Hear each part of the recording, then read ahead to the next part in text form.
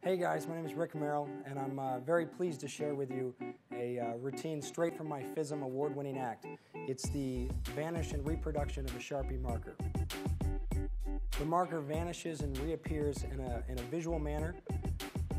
The great thing about this routine is you don't need a coat, you don't need long sleeves. It uses some sleights you already know combined with some things that I'll teach you, and it'll be a great item in your arsenal for years to come. Very happy to share this with you. It, it, uses a coin and marker, and it's a sequence of vanishes and transpositions that actually were never have never been seen before. A marker will change into a coin, and they'll change back and forth three times in, in the course of the routine. It's pure sleight of hand. The beauty is it's not that difficult, and you get a great piece of visual magic. I hope you enjoy.